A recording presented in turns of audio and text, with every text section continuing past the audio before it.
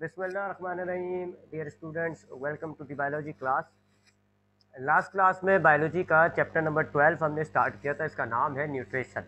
Chapter eleven complete हो गया था, और अब हमने चैप्टर ट्वेल्व स्टार्ट किया था। कहाँ तक पढ़ा हमने? क्या पढ़ा है? अच्छा अच्छा है अच्छा चैप्टर ट्वेल्व का नाम है न्यूट्रिशन। मैंने आपको बताया था, वैसे न्यू न्यूट्रिशन होता क्या है, मैंने आपको बताया था। कि लिविंग ऑर्गेनिजम्स जो अपने फ़ंक्शंस होते हैं, इसको परफॉर्म करने के लिए इनको एनर्जी की ज़रूरत होती है। इनके जितने भी फ़ंक्शंस होते हैं, जिसके ज़रिए ज़िंदा रह रहा है, अपने सेल डिवीज़न करना मेटाबॉलिज्म करना, चीज़ें बनाना, चीज़ें तोड़ना। तो लिविंग ऑर्गेनिजम्स को अपने अपनी बॉडी को, के तमाम फ़ंक्शंस को मेंटेन करने के लिए एनर्जी की ज़रूरत होती है। और हमने पिछले चैप्टर में पढ़ा था चैप्टर अलेवन में, कि वो एनर्जी हासिल करते हैं जी फ़ूड मॉलिक्यूल हम जो लिविंग ऑर्गेनिजम्स एनर्जी हासिल करते हैं, वो हम एनर्जी हासिल करते हैं केमिकल एनर्जी और केमिकल एनर्जी कहाँ होती है जी? केमिकल एनर्जी फ़ूड मॉलिक्यूल्स के बॉन्ड में स्टोर हुई होती है। लिहाजा इस एनर्जी को हासिल करने के लिए हमें फ़ूड को हासिल करना पड़ता है। हम फ़ूड हासिल करते हैं, फिर उस फ़ूड को तोड़ते हैं। कौन से प्रोसेस के ज़रिए? पिछले चैप्टर में पढ़ा है रेस्पायरेशन ठीक है? तो ये पूरी चेन हो रही है एक। आपको लिविंग आपको अपनी बॉडी में तमाम फ़ंक्शंस परफॉर्म करने के लिए एनर्जी की ज़रूरत है। और जो उस एनर्जी का क्या नाम है? केमिकल एनर्जी कहाँ पर है जी वो? फ़ूड मॉलिक्यूल्स के बॉन्ड में। लिहाजा आपको फ़ूड मॉलिक्यूल्स हासिल करना पड़ते हैं।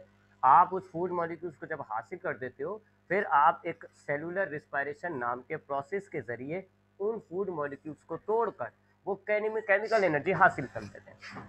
तो अब ये जो फ़ूड मॉलिक्यूल्स हासिल किए जा रहे हैं ओप्टेन किए जा रहे हैं, इस प्रोसेस को हम कहते हैं न्यूट्रिशन तो what is nutrition nutrition is the process by which living organisms obtain food so that they can get energy to maintain the functions of life nutrition क्या है? एक प्रोसेस जिसके ज़रिए लिविंग ऑर्गेनिजम्स खाना हासिल करेंगे फ़ूड मॉलिक्यूल्स हासिल करेंगे, ताकि सेलुलर रिस्पायरेशन के ज़रिए उन फ़ूड मॉलिक्यूल्स को ब्रेक करके उनके अंदर स्टोर केमिकल एनर्जी निकाली जा सके और फिर ये उस केमिकल एनर्जी के ज़रिए अपने तमाम फ़ंक्शंस को परफॉर्म करते हैं। तो that process that that process to obtain food is called nutrition फिर हमने बात की थी मूड ऑफ़ न्यूट्रिशन की। मूड ऑफ़ न्यूट्रिशन प्लांट का अलग होता है जी एनिमल्स का थोड़ा अलग होता है। तो mode of nutrition in plant को अगर हम देखें तो प्लांट के पास खाना खाने के, खाना हासिल करने के दो मूड होते हैं, दो तरीके होते हैं न्यूट्रिशन के। पहले तरीके को आप कहते हो ऑटोट्रॉपिक और दूसरे को आप कहते हो हेटोट्रॉपिक ये कई दफ़ा पढ़ चुके हैं जी हम टर्म छोटी क्लासेस में भी और इस क्लासेस के अंदर भी। ऑटोट्रॉपिक मूड ऑफ़ न्यूट्रिशन क्या होता है? ये ऐसा मूड ऑफ़ न्यूट्रिशन है जिसके अंदर पौधे अपना खाना, अपने फ़ूड मॉलिक्यूल्स एनर्जी वाले फ़ूड मॉलिक्यूल्स खुद तैयार करते हैं। They it is a process by which living organisms manufacture their own food जबकि हेटोट्रॉपिक क्या होता है? लिविंग ऑर्गेनिज्म अपना खाना फ़ूड मॉलिक्यूल्स खुद हासिल, खुद नहीं बनाएगा अपनी बॉडी के अंदर, बल्कि एनवायरनमेंट से हासिल करेगा। ठीक है? तो अगर आप देखते हो कि लिविंग ऑर्गेनिज्म या पौधे अपने फ़ूड मॉलिक्यूल्स अपनी बॉडी के अंदर बना रहे हैं तो आप कहोगे कि वो ऑटोट्रॉपिक है। अगर बाहर बाहर से हासिल कर रहे हैं तो आप कहोगे हेटोट्रॉपिक ऑटोट्रॉपिक की दो टाइप्स होती है फोटोट्रॉपिक कीमोट्रॉपिक फोटोट्रॉपिक क्या होता है? जिसके अंदर फोटोसेंथिसिस के ज़रिए फ़ूड मॉलिक्यूल्स बनाए जाएँगे। फोटोसेंथिसिस में आप जानते हैं लाइट इस्तेमाल हो रही है। तो हम यूँ कह सकते हैं कि फोटोट्रॉफिक मोड ऑफ़ न्यूट्रिशन क्या होता है, जिसमें लाइट एनर्जी का यूज़ किया जाए। लाइट एनर्जी को यूज़ करके आपने फ़ूड मॉलिक्यूल्स बनाए हैं तो ये फोटोट्रॉपिक हो जाता है। जबकि कीमोट्रॉपिक क्या होता है लाइट एनर्जी को यूज़ नहीं किया जाता। कोई सिंपल सा मॉलिक्यूल इनऑर्गेनिक सब्सटेंस लिया जाएगा, उसको ब्रेक करके, उसके साथ कुछ चीज़ जोड़ जाड़ के आप उसमें से एनर्जी हासिल करते हो। इसके एग्ज़ाम्पल मैंने आपको दी थी डी नाइट्रीफाइंग बैक्टीरिया की। उसके बाद हेटोट्रॉपिक पढ़ा हमने।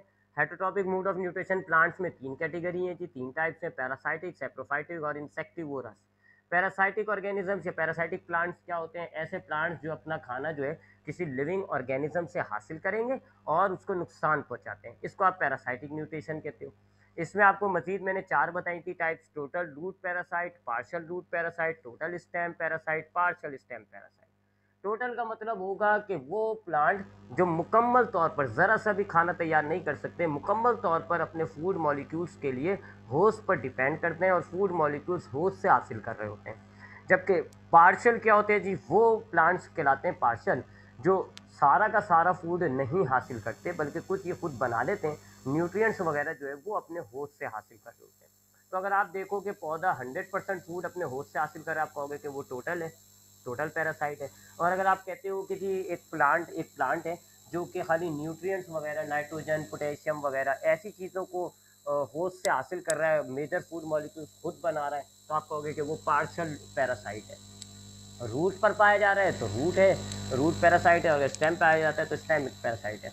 उसके बाद सेप्रोफाइटिक और सेप्रोफाइटिक आपको बताया था कि सेप्रोफाइटिक क्या होते हैं? ऐसे पौधे होते हैं जो किसी लिविंग होस्ट से खाना हासिल नहीं करते, बल्कि ये डेड जो मटेरियल्स होते हैं डेड ऑर्गेनिक मैटर्स होते हैं, जैसे कि कोई इंसान मरा हुआ है, कोई पौधा मरा हुआ है, उसको तोड़कर उसमें से खाने को हासिल कर रहे होते हैं। इनको आप कहते हो सेप्रोफाइटिक। जबकि इंसेक्टिवोरस ऐसे पौधे होते हैं जो कि इंसेक्ट पर फ़ीड करते हैं। यानी ये इनके इनके जो लीफ होते हैं, थोड़े हाईली मॉडिफाइड होते हैं स्पेशल स्ट्रक्चर्स बन जाते हैं इनके लीफ में, जहाँ से ये इंसेक्ट को कैच करते हैं और उनसे, उनको तोड़कर, उनको बकायदा उनके पास डाइजेस्टिव इंजाइम्स होते हैं और ये उनको तोड़कर उसमें से जो है कुछ मॉलिक्यूल्स हासिल करते हैं। इंसेक्टिवोरस जो है, याद रखिएगा, वो फोटोसेंथेटिक होते हैं, वो अपना खाना खुद तैयार कर सकते हैं फोटोसेंथेसिस के ज़रिए। लेकिन वो जिन इलाकों में पाए जा रहे होते हैं, वहाँ पे उनको मिनरल्स नहीं मिल पाते नाइट्रोजन खास करके। तब चूँकि उनको मिनरल्स की ज़रूरत होती है, मिनरल्स नहीं मिल रहे होते तो ये मिनरल हासिल करने के लिए इंसेक्टिवोरस जो है इंसेक्ट को फ़ीड करता है। तो ये था mode of nutrition in plant जो हमने पिछली क्लास में पढ़ा था। आज हम बात करेंगे mode of nutrition in animals का। एनिमल्स के हवाले से बात करते हैं कि एनिमल्स जो है, उनमें न्यूट्रिशन के कौन कौन से मूड कौन कौन से तरीके हैं। तो याद रखिएगा animals are not autotroph animals में कोई ऑटोट्रॉपिक मूड ऑफ़ न्यूट्रिशन नहीं होता। एनिमल्स आर हेट्रोट्रॉप वो सिर्फ़ हेट्रोट्रॉप होते हैं, यानी एनिमल्स जो है, अपनी बॉडी के अंदर फ़ूड प्रिपेयर नहीं कर सकते। ये हमेशा अपना फ़ूड जो है एनवायरनमेंट से बाहर से हासिल करते हैं और फिर अपनी बॉडी के अंदर डाल देते हैं। तो दे आर हेटोट्रॉपिक तो mode of nutrition in animals are always heterotrophic हाँ उस हेटोट्रॉपिक की तीन टाइप्स है। पैरासाइटिक सेप्रोफाइटिक और होलोजोइक पैरासाइटिक और सेप्रोफाइटिक तो वही है जो पौधों में भी आपको बताया गया। पैरासाइटिक मूड ऑफ़ न्यूट्रिशन या पैरासाइटिक एनिमल्स क्या होते हैं? जी, ऐसे एनिमल्स जो एक लिविंग एक जानदार होस्ट से अपना खाना हासिल करेंगे और उसको नुकसान पहुंचाते हैं। मॉस्किटो हो गया बैक्टीरिया हो गया अर्थवॉर्म हो गया टेप वॉर्म हो गया राउंड वॉर्म हो गया लीच हो गया, ये सारे पैरासाइटिक एनिमल्स होते हैं। ये जब भी अपना खाना हासिल करेंगे तो एक लिविंग होस्ट से हासिल करते हैं और उसमें डिज़ीज़ पैदा करते हैं, उसको बीमारियाँ पैदा करते हैं, उसके अंदर जो है वो नुकसान पहुँचा रहे होते हैं होस्ट को। तो ऐसे एनिमल्स, ऐसा मूड ऑफ़ न्यूट्रिशन जिसके अंदर एनिमल जो है वो एक ज़िंदा ज़िंदा होस्ट से खाना हासिल करेगा और उसको नुकसान पहुंचाएगा, उसको आप कहते हो पैरासाइटिक इसकी दो टाइप्स होती हैं एनिमल्स के अंदर पैरासाइटिक मूड ऑफ़ न्यूट्रिशन जो है, ये दो किस्म का होता है एक्टो पैरासाइट और एंडो पैरासाइट ये भी एक्सप्लेन हुआ हुआ है पिछले टॉपिक में. एक्टो मतलब होता है बाहर एंडो मतलब होता है अंदर. अगर ये जो पैरासाइट है, ये अपने होस्ट की बॉडी के बाहर पाया जा रहा है तो आप इसको एक्टो पैरासाइट डिक्लेयर करोगे.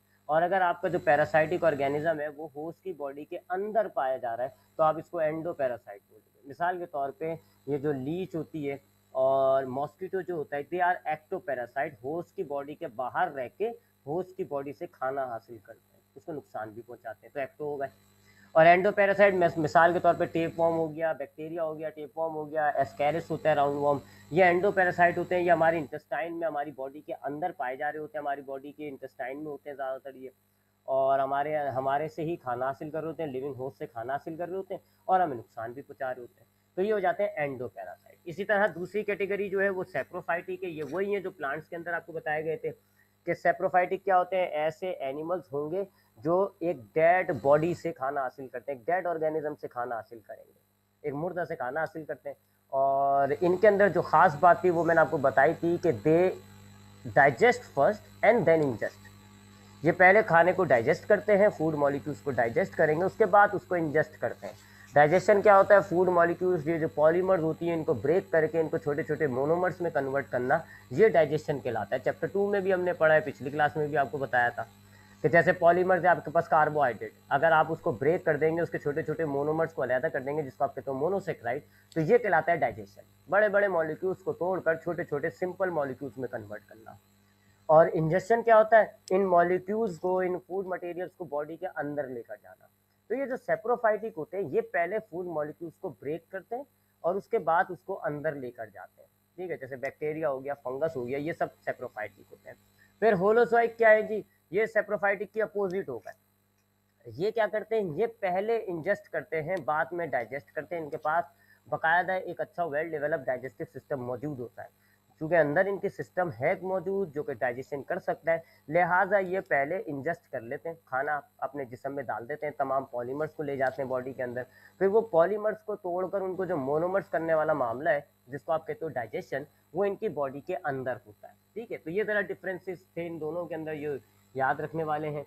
तो ये जो सेप्रोफाइटिक होते हैं, ये पहले इंजस्ट सॉरी पहले क्या करते हैं ये? ये पहले डाइजेस्ट करेंगे बॉडी के बाहर ही होती है डाइजेशन ठीक है जी एक्स्ट्रा डाइजेशन हो रही है एक्स्ट्रा सेलुलर एक्स्ट्रा होती है जी बाहर। और उसके बाद ये इंजेस्ट कर लेते हैं।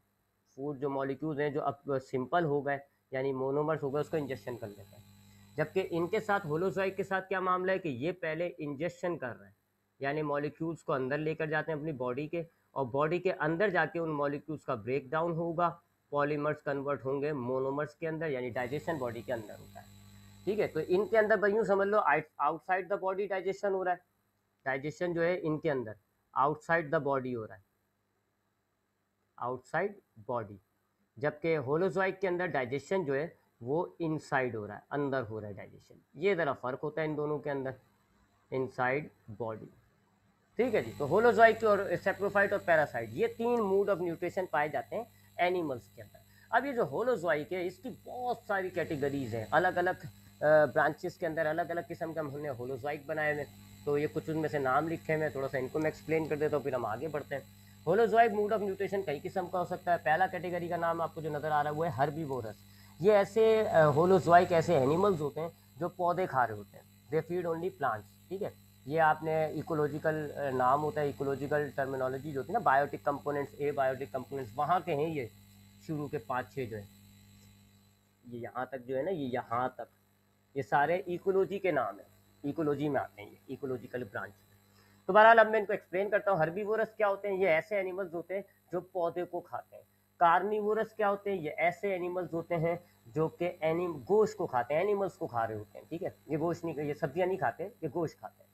ओमनीवोर्स क्या होते हैं? ऐसे एनिमल्स होते हैं जो कि दोनों खाते हैं, यानी हर्बीवोरस भी होते हैं ये और कार्निवोरस भी होते हैं। जैसे कि इंसान जो है वो ओमनीवोरस है, हम सब्ज़ियाँ भी खाते हैं तो हर्बीवोरस हो गए, हम गोश्त भी खाते हैं तो हम कार्निवोरस भी हो गए। तो ओमनीवोरस जो है, आप समझ लें, herbivorous plus carnivorous. Primary consumer जो है, इन्हीं को आप हर्बीवोरस भी कह रहे होते हो अक्सर, ठीक है? प्राइमरी कंज्यूमर और ये जो होते हैं ना, हर्बीवोरस, ये एक ही चीज़ है। प्राइमरी कंज्यूमर्स क्या होते हैं? वही जो कि आपके प्रोड्यूसर्स को खा रहे होते हैं, प्रोड्यूसर्स क्या होते हैं? प्लांट्स, यानी कि ये पौधे खा रहे होते हैं।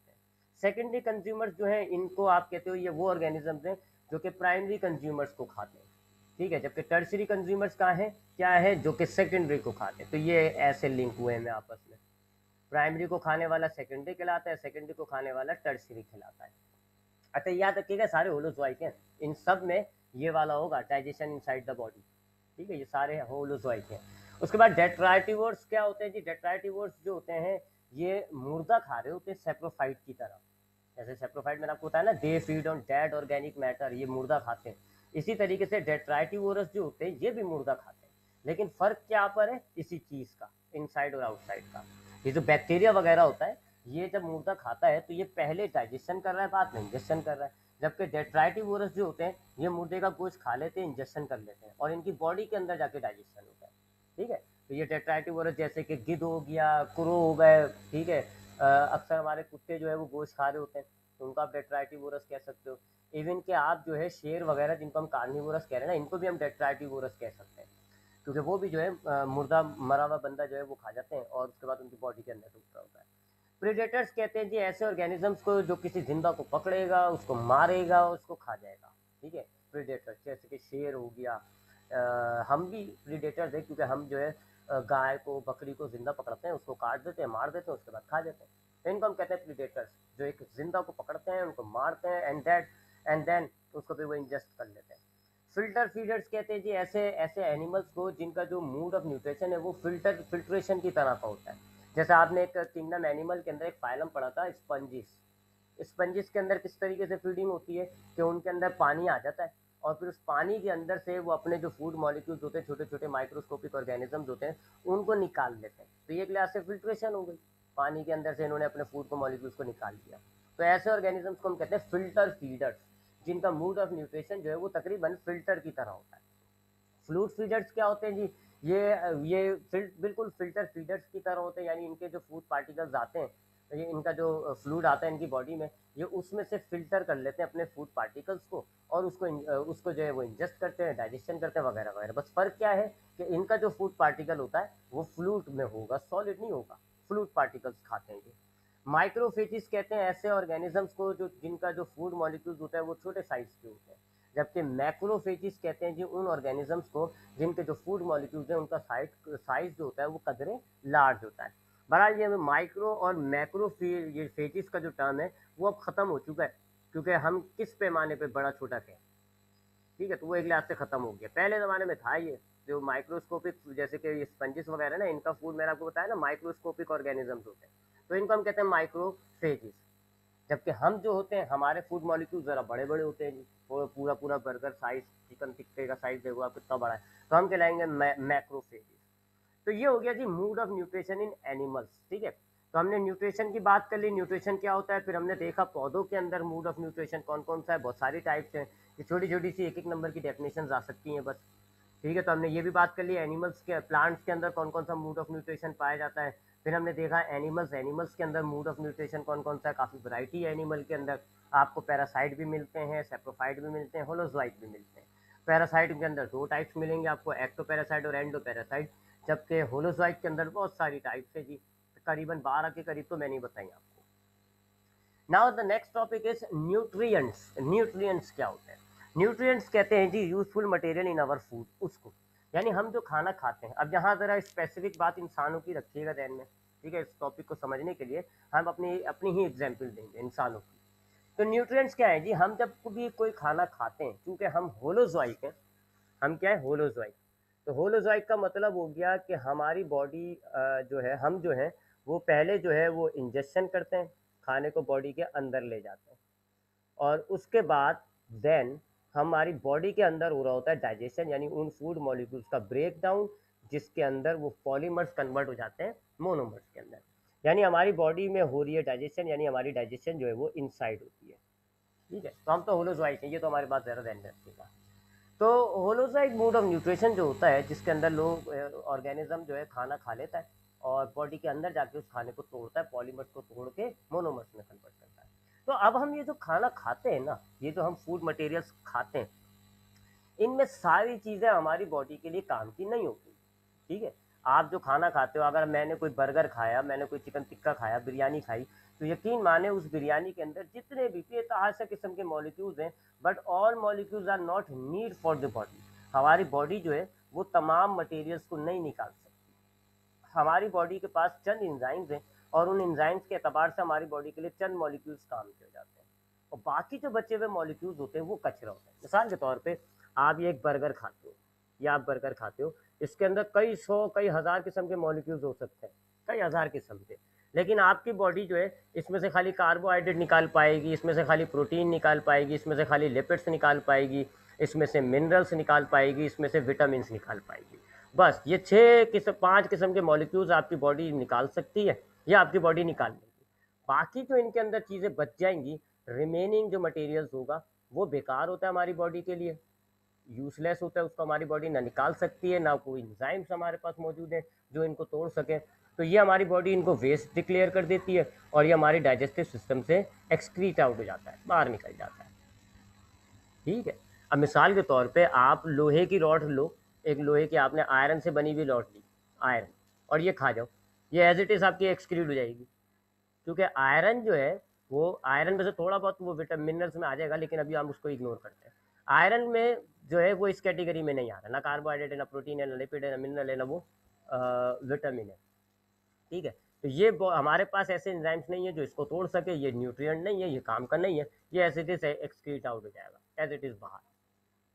इसी तरीके से आप एस सी एल खा लो, तेज़ाब खा लो, आपकी बॉडी उसको भी थोड़ी डाइजेस्ट करेगी, उसको थोड़ी तोड़ेगी, क्योंकि एस सी एल जो है, वो आपके काम का नहीं है यूजलेस मटेरियल है, बेकार है। तो हमारे जो हम जो फ़ूड खा रहे होते हैं, इसमें बेतहाशा मॉलिक्यूल्स होते हैं। बहुत सारे किस्म के मॉलिक्यूल्स होते हैं। लेकिन इन तमाम इतने सारे मॉलिक्यूल्स के अंदर से हमारे लिए सिर्फ़ कुछ हमारी बॉडी के लिए कुछ मॉलिक्यूल्स काम के होते हैं। उन कुछ मॉलिक्यूल्स को जो यूज़फुल मटेरियल्स है हमारी बॉडी के अंदर, जो यूज़फुल काम के मॉलिक्यूल्स हैं, उनको हम न्यूट्रिएंट्स कह रहे होते हैं। कौन कौन से न्यूट्रिएंट्स होते हैं? कार्बोहाइड्रेट प्रोटीन लिपिड्स मिनरल्स और विटामिन ये सिर्फ़ पाँच मॉलिक्यूल्स हैं जो आपके फ़ूड के अंदर आपकी बॉडी को चाहिए। इन पाँच के अलावा बाकी तमाम चीज़ें आपकी बॉडी जो है वो न्यूट्रिएंट्स नहीं होते, आपकी बॉडी के लिए काम के नहीं होते, आपकी बॉडी उनको निकाल देती है, वो वेस्ट होते हैं। ठीक है? तो न्यूट्रिएंट्स क्या है? जैसे अगर आप मिसाल के तौर पे एक लेस खरीद के लाते हो, आप अगर एक लेस खरीद के लाते हो, आपने तो पूरा लेस खरीदा है, लेकिन वो पूरे लेस थोड़ी खाते हो आप। आपके लिए वो पूरा लेस काम का नहीं है। आप उसका पैकेट खोलते हो, अंदर के चिप्स खा लेते हो। And what about the packet उस कचरे पैकेट का क्या होता है आपके? तो वो कचरा है और आप उसको फेंक देते हो। बिल्कुल, यही मामला आपकी बॉडी के साथ है। आप जब कोई भी खाना खाओगे, भले वो टिक्का हो, भले वो बिरयानी हो, भले वो कितना ही लजीज खाना क्यों ना हो, आपको उस बॉडी के अंदर ना टेस्ट से कोई मतलब है आपकी बॉडी को, ना उसके अंदर क्या क्या चीज़ें से मतलब है। आपकी बॉडी बस उसमें से ये छः चीज़ें निकाल पाएगी। दैट्स इट बाकी कचरा है और आपकी बॉडी उस कचरे को बाहर आपके पास पेपर आया थी दस चैप्टर का, आपको सिर्फ़ आते ही तीन चैप्टर है। अब जब आपको आते ही तीन चैप्टर के सवाल है तो आप सिर्फ़ तीन चैप्टर के सवाल अटैम्प्ट करोगे, बाकी सब क्या है आपके लिए वेस्ट है? आप क्या करोगे? उसको अनसॉल्व करोगे? छोड़ दोगे? यही मामला है हमारी बॉडी के अंदर। अल्लाह ने हमारे बॉडी के अंदर जो डाइजेस्टिव सिस्टम डाला हुआ है, जो इंजाइम्स डाले में वो खाली इन छः मॉलिक्यूल्स को तोड़ कर इनको अलहदा करके, इनको खून में डिजोल्व कर सकते हैं। बाकी जो चीज़ें हैं, बेतहाशा आपको पता है ना 110 115 के करीब एलिमेंट्स मौजूद है, पता नहीं कितने हज़ार कंपाउंड हैं। लेकिन हमारी बॉडी के अंदर सबको तोड़ने के लिए इंजाइम नहीं है। तो वो सब क्या है? बेकार। ठीक है? तो ये जो हमारे फ़ूड के अंदर काम के मटेरियल्स होते हैं यूजफुल मटेरियल्स होते हैं, इनको हम न्यूट्रिएंट्स कहते हैं। कौन कौन से हैं जी हमारे लिविंग ऑर्गेनिजम्स के लिए न्यूट्रिएंट्स तो ये आपके सामने नाम लिखे हुए carbohydrate protein lipids vitamin minerals इन सब की बात हमने चैप्टर नंबर टू में की हुई है जिसको हमने कहा था ऑर्गेनिक मॉलिक्यूल्स जो चैप्टर है, उसमें हमने काफ़ी डिटेल में बात की थी लिया तो थोड़ा थोड़ा सा हम इसको ब्रीफ कर देता हूँ मैं। कार्बोहाइड्रेट्स क्या होते हैं जी? केमिकली अगर मैं डिफाइन करूँ तो कार्बोहाइड्रेट्स ऐसे मॉलिक्यूल्स होते हैं जिनमें कार्बन हाइड्रोजन और नाइट्रोजन होता है। ये मीठे जायके के होते हैं, ज़्यादातर सफ़ेद कलर के दिख रहे होते हैं। आपके खाने के अंदर जितना भी मीठी चीज़ें होती हैं दैट आर कॉल्ड कार्बोहाइड्रेट्स इनकी जितनी ज़्यादती होगी, आपका खाना उतना मीठा होता जाता है। तो they are sweet in taste they are white in colour and they are the compounds of carbon hydrogen and nitrogen energy के अतबार से इनके अंदर सबसे लीस्ट एनर्जी पाई जाती है। इनके अंदर सबसे कम एनर्जी पाई जाती है। लेकिन अच्छी बात यह है कि ये हमारी बॉडी में सबसे पहले डाइजेस्ट होता है। First to break. यानी कि अगर आपकी बॉडी को सेलुलर रिस्पायरेशन करके मॉलिक्यूल्स को तोड़ के उसमें से एनर्जी निकालनी होती है तो सबसे पहले किसको तोड़ा जाता है? कार्बोहाइड्रेट को। Why because it is a small compound अगर आप अभी नीचे के मॉलिक्यूल्स के स्ट्रक्चर आपने देखें चैप्टर टू में प्रोटीन एक बड़ा मॉलिक्यूल होता है, ज़्यादा आइटम्स होते हैं लिपिड्स तो उससे ज़्यादा बड़ा होता है। कार्बोहाइड्रेट इन तीनों में सबसे छोटा मॉलिक्यूल होता है। बाईस पच्चीस ज़्यादा से ज़्यादा इसके जो मोनोमर होते हैं जैसे अगर हम ग्लूकोज की बात करें C six H twelve O six बाईस एटम्स है। तो छोटा मॉलिक्यूल हो जाता है इजी तो इजी टू ब्रेक होता है आसानी से तोड़ा जाता है। लिहाजा कार्बोहाइड्रेट को ब्रेक करके इसको एनर्जी सबसे पहले निकाली जाती है। तो कार्बोहाइड्रेट्स क्या है? हमारे फ़ूड के वो कंपाउंड्स जिनमें कार्बन हाइड्रोजन और, और, और नाइट्रोजन लिखा हुआ है देखें मैंने गलती ऑक्सीजन सॉरी ठीक है? तो कार्बोहाइड्रेट्स क्या है? ऐसे कंपाउंड्स होते हैं हमारे फ़ूड के, जिनमें कार्बन हाइड्रोजन और ऑक्सीजन होता है। ये ज़्यादातर सफ़ेद कलर के होते हैं, इनका जायका स्वीट होता है, इनकी वजह से हमारा खाना मीठा होता है। इनके अंदर सबसे कम एनर्जी होती है, लेकिन हमारी बॉडी सबसे पहले फ़ूड के अंदर से इन कार्बोहाइड्रेट्स को ब्रेक करती है सेलुलर रिस्पायरेशन के ज़रिए और एनर्जी निकल आती है। आपने सेलुलर रिस्पायरेशन देखा था तो आपने उसमें क्या देखा था? कार्बोहाइड्रेट तो ब्रेक हो रहा था। C six H twelve four six यही तो हमने लिया था और इसको तो तोड़ा था। और बाकी के बारे में आपको बताया था, वो सब कन्वर्ट होते हैं किसमें? कार्बोहाइड्रेट में।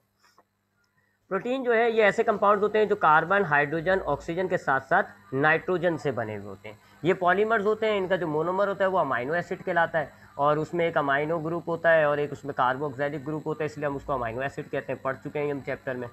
तो प्रोटीन जो है, हमारे जो मसल्स वगैरह होते हैं, उनके अंदर पाया जाता है, जैसे कि गोश्त हो गया, अंडा हो गया, मछली हो गई, मुर्गी हो गई, इनमें ज़्यादातर प्रोटीन होता है। एनर्जी के अतबार से इनके अंदर दरमियानी किस्म की एनर्जी होती है मॉडरेट यानी कि कार्बोहाइड्रेट से ज़्यादा एनर्जी होती है लिपिड से थोड़ी कम होती है तो मॉडरेट कह लेते हैं हम। इनमें दरमियाने कैटेगरी की एनर्जी होती है और बॉडी इसको जो है तीसरे नंबर पर ब्रेक करती है थर्ड टू ब्रेक सबसे कोशिश करती है बॉडी आपके प्रोटीन को बचाने की, क्योंकि आपकी बॉडी के अंदर कंस्ट्रक्शन लेवल के अतबार से प्रोटीन सबसे इंपॉर्टेंट कंपाउंड होता है। इससे आपकी सारी मेम्ब्रेन्स बनी हुई हैं, इससे आपके सारे इंजाइम्स बने हुए हैं।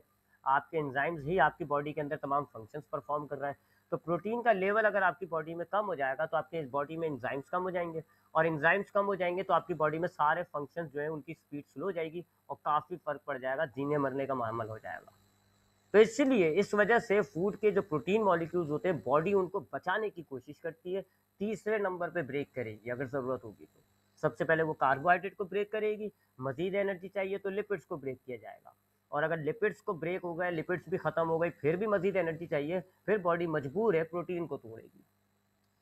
अच्छा जब प्रोटीन टूटता है तो डायरेक्टली प्रोटीन सेलुलर रिस्पायरेशन में नहीं जाता। ये भी मैंने आपको एक्सप्लेन किया हुआ है। प्रोटीन पहले लीवर में जाता है। प्रोटीन के जो मॉलिक्यूल्स हैं, उनके जो सिंपल मॉलिक्यूल्स होते हैं, उनका हम कहते हैं अमाइनो एसिड यानी मोनोमर्स जो होते हैं, उनका हम कहते हैं amino acid amino acid directly cellular respiration नहीं हो सकता। हमने जब सेलुलर रिस्पायरेशन पढ़ा तो हमने उसके अंदर देखा कि सेलुलर रिस्पायरेशन होता है कार्बोहाइड्रेट यानी ग्लूकोज पे। तो अब अमाइनो एसिड सेलुलर रिस्पायरेशन के ज़रिए कैसे टूटेगा? ये टूटता है लीवर के अंदर। लीवर के अंदर ये जाता है, इसमें से अमाइनो ग्रुप निकल जाता है।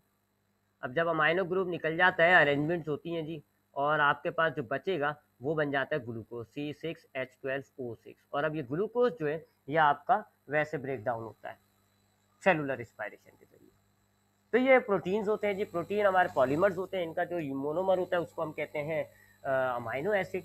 ये ऐसे कंपाउंड होते हैं जो कार्बन, हाइड्रोजन, ऑक्सीजन के साथ साथ नाइट्रोजन से मिले हुए होते हैं। इनके अंदर दरमियाने दर्जे की एनर्जी होती है। ये हमारी बॉडी बिल्डिंग के अंदर अहम तरीन कंपाउंड में से एक है। लिहाजा बॉडी इसको बचाने की कोशिश करती है। तीसरे नंबर पर इसको ब्रेक किया जा रहा होता है। और जब भी इसको ब्रेक करने की ज़रूरत पड़ती है तो फिर बॉडी क्या करती है? अमाइनो एसिड लेती है। यानी आपकी बॉडी में जगह जगह प्रोटीन की फॉर्म में प्रोटीन स्टोर हुई हुई है। आपकी बॉडी उस प्रोटीन को बुलाएगी, उसको तोड़ के अमाइनो एसिड में कन्वर्ट करेगी। अब वो जो अमाइनो एसिड्स हैं लीवर ये काम करेगा अमाइनो एसिड में से अमाइनो ग्रुप निकाल देगा। अब जब आप अमाइनो एसिड में से अमाइनो ग्रुप निकालोगे तो फिर वो बचता है ग्लूकोज और फिर वो ग्लूकोज जो है, वो सेल्स को पहुँचाया जाता है सेल्स उनको सेलुलर रिस्पायरेशन के ज़रिए तोड़ के उसमें से एनर्जी निकाल लेता है। उसके बाद तीसरे आते हैं जी लिपिड्स ये भी कार्बन हाइड्रोजन और ऑक्सीजन के कंपाउंड्स होते हैं, यानी कार्बोहाइड्रेट की तरह इनका भी एटॉमिक चीज़ें जो है वो एक ही है कार्बन हाइड्रोजन ऑक्सीजन बस फ़र्क ये है कि ऑक्सीजन का रेशियो बहुत कम होता है। बहुत कम ऑक्सीजन होते हैं बड़े बड़े मॉलिक्यूल्स होते हैं, बहुत ज़्यादा तादाद होती है इनमें हाइड्रोजन की कार्बन की कार्बोहाइड्रेट से समझ लो, सौ, दो सौ गुना बड़ा मॉलिक्यूल होता है ये। इसके जो मोनोमर्स होते हैं, उनको आप फैटी एसिड्स या ग्लेसिरॉल्स कहते हो। एनर्जी के अतबार से ये सबसे हाईली एनर्जी कंपाउंड्स होते हैं। इनमें सबसे ज़्यादा एनर्जी पाई जाती है। वजह क्या है? क्योंकि इनके अंदर बॉन्ड्स बहुत सारे हैं। बहुत ज़्यादा एटम्स मौजूद हैं, बहुत ज़्यादा बॉन्ड्स मौजूद हैं, हर बॉन्ड में ठीक ठाक एनर्जी स्टोर हुई हुई है। तो फिर अल्टीमेटली जितने ज़्यादा बॉन्ड होंगे, उतनी ज़्यादा एनर्जी होगी। आपकी बॉडी इसको स्टोर करती है और अगर ज़रूरत पड़ेगी तो इसको दूसरे नंबर पर ब्रेक किया जाता है। अगर आपके पास कार्बोहाइड्रेट ख़त्म हो गए फ़ूड के अंदर से, फिर भी स्टिल बॉडी को एनर्जी की ज़रूरत है तो फिर बारी आती है लिपिड्स की और लिपिड्स को तोड़ा जाता है। लिपिड्स के तोड़ने वाला मामला भी वही है कि जी, ये लिपिड्स के जो मोनोमर्स होते हैं, जिनको हम फैटी एसिड्स और ग्लेसिरॉल्स कहते हैं ये पहले लीवर से गुजरते हैं। लीवर के अंदर इनमें से जो है वो कार्बन डाइऑक्साइड वगैरह निकाल दी जाती है। कार्बन डाइऑक्साइड और वाटर रिमूव होता है, जिससे ये कन्वर्ट हो जाते हैं ग्लूकोज के अंदर। और जब ये ग्लूकोज में कन्वर्ट होंगे तो फिर इनको सेल्स तक पहुँचाया जाता है और फिर ये सेलुलर रिस्पायरेशन के ज़रिए ब्रेक डाउन हो जाता है इनका। ऐसे इसका ब्रेक डाउन होता है। ठीक है? तो ये तीन तो अहम तरीन मॉलिक्यूल्स हैं जो आपकी बॉडी में एनर्जी प्रोवाइड कर रहे हैं। इन तीनों को हम मैक्रो मॉलिक्यूल्स भी कहते हैं, क्योंकि ज़्यादा क्वांटिटी में आपको चाहिए होते हैं। और ये एनर्जी वाले कंपाउंड होते हैं फ़ूड के अंदर ये जो तीन न्यूट्रिएंट्स हैं, इनको खाने का मकसद सिर्फ़ एक है। पहला मकसद जो है सॉरी एक तो नहीं है। पहला मकसद है एनर्जी हासिल करना। सबसे मेजर मकसद तो इन तीनों को खाने का एक ही थी एनर्जी हासिल करना। बाकी उसके अलावा प्रोटीन को खाने का मकसद ये भी होता है कि एक तो इससे एनर्जी भी हासिल कर ली जाए अगर ज़रूरत पड़े। अदरवाइज़ आपकी प्रोटीन इंजाइम्स के अंदर होते हैं, आपके प्रोटीन्स मेम्ब्रेन्स में मौजूद होते हैं। आपके सेल के अंदर पानी के बाद दूसरा बड़ा कंपाउंड प्रोटीन होता है। तो इन सारी चीज़ों के लिए आपकी सेल्स को बनाने के लिए इंजाइम्स को बनाने के लिए मेम्ब्रेन्स को बनाने के लिए आप फ़ूड के अंदर से प्रोटीन हासिल करते हो। जबकि लिपिड्स जो हैं, ये एक तो हाई एनर्जी कंपाउंड है, ये भी आपको ठीक ठाक एनर्जी देते हैं। अदरवाइज़ अगर ये एनर्जी नहीं दे रहा है आपकी कार्बोहाइड्रेट से एनर्जी प्रोड्यूस हो गई और लिपिड्स बच गए तो फिर ये आपके ऑर्गन्स के अराउंड जाके स्टोर हो जाता है। एडिपोज टिश्यू नाम के सेल्स एडिपोज नाम का टिश्यू होता है, उसके, उस सेल्स के वैक्यूल में जाके ये स्टोर हो जाता है। एडिपोज टिश्यू के अंदर। और वो फिर जो है आपकी एक लेयर बन जाती है ऑर्गन्स के अराउंड इसकी एक लेयर बन जाती है स्किन के नीचे एक लेयर बन जाती है। और फिर जब इसकी लेयर बन जाती है तो ये या तो आपके ऑर्गन्स की प्रोटेक्शन कर रहा होता है, हिफाजत कर रहा होता है, झटके वगैरह से। और आपके स्किन के अंदर ये आपके टेम्परेचर मेंटेन करने में ना, जिसको आप कहते हो थर्मो रेगुलेशन तो ये उसमें भी बड़ा करामत होता है। तो ना सिर्फ़ ये तीनों कंपाउंड ये तीनों न्यूट्रिएंट्स आपको एनर्जी प्रोवाइड कर रहे हैं, बल्कि आपकी बॉडी बिल्डिंग और आपकी बॉडी के अंदर के दूसरे मामला पे भी ये इस्तेमाल होते हैं। जबकि इन दो नीचे वाले जो दो हैं मिनरल्स और विटामिन इनको हम कहते हैं माइक्रो मॉलिक्यूल्स माइक्रो मॉलिक्यूल्स इस वजह से नहीं कह रहा इनका साइज़ छोटा है। माइक्रो मॉलिक्यूल्स इस वजह से कहा जा रहा है, इनकी तादाद कम चाहिए होती है। ये आपको इतना नहीं चाहिए जितना कार्बोहाइड्रेट प्रोटीन लिपिड चाहिए। ये थोड़ा सा चाहिए, बस काफ़ी। ठीक है, इनको आप ज़्यादा मकदार में नहीं लोगे। अगर ज़्यादा मकदार में लोगे, नुकसान हो जाएगा। आप इनको कम मकदार में लोगे, कम मकदार में बस काफ़ी है। वजह क्या है? क्यों कम मकदार में चाहिए? क्योंकि इनसे आप एनर्जी हासिल नहीं करते। ये दोनों कंपाउंड्स आपको ग्रोथ के लिए चाहिए होते हैं डेवलपमेंट के लिए चाहिए होते हैं। आपकी बॉडी में ये कोई एनर्जी प्रोवाइड नहीं करेंगे। आपने ऊपर देखा ना कार्बोहाइड्रेट प्रोटीन लिपिड तीनों एनर्जी प्रोवाइड कर रहे हैं। तीनों first to break second to break third to break इसका मतलब है एनर्जी प्रोवाइड कर रहे हैं। लेकिन मिनरल्स और विटामिन के लिए, ये जो मिनरल्स और विटामिन होते हैं, इनसे हमारी बॉडी एनर्जी हासिल नहीं करती।